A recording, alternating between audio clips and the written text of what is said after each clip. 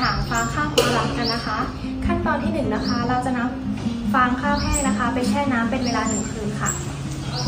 ขั้นตอนที่2นะคะ เราก็นำฟางข้าวที่แช่น้ำเป็นเวลาหนึ่งคืนนะคะ มาตัดให้เป็นชิ้นเล็กๆค่ะ ขั้นตอนที่3นะคะ เราจะนำฟางข้าวที่ตัดไว้แล้วนะคะ มาต้มจนเปื่อยนะคะ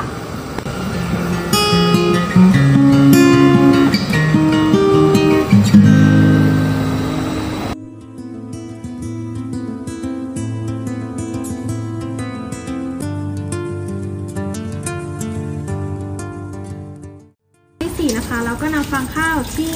ต้มแล้วมาล้างให้สะอาดนะคะ ประมาณ 2-3 น้ำค่ะ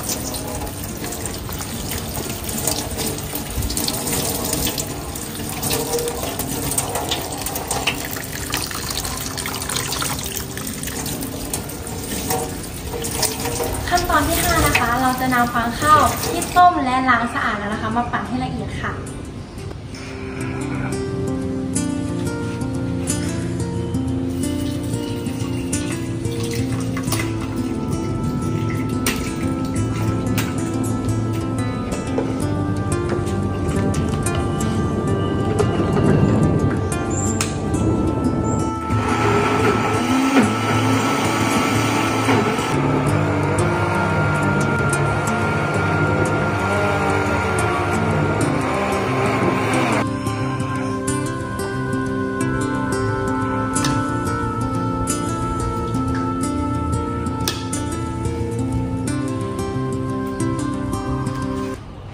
นี่นะคะเราก็จะได้เยื่อฟางข้าวที่เราได้ปั่นละเอียดเป็นที่เรียบร้อยแล้วค่ะ เรามาถึงขั้นตอนที่6กันแล้วนะคะ เราจะนำเยื่อของฟางข้าวนะคะ มาต้มผสมรวมกับแป้งมันนะคะ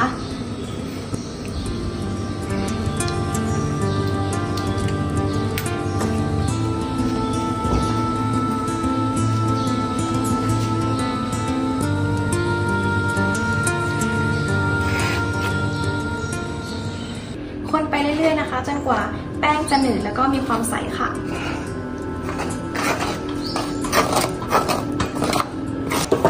ขั้นตอนที่7นะคะ จะเป็นขั้นตอนของการขึ้นรูปทรงค่ะ และนี่นะคะคือฟางข้าวนะคะ เราจะเอามาขึ้นรูปตามรูปแบบที่เราต้องการค่ะ นี่ค่ะจะเป็นแม่พิมพ์พลาสติกนะคะ ที่เราจะทำกันในวันนี้ค่ะ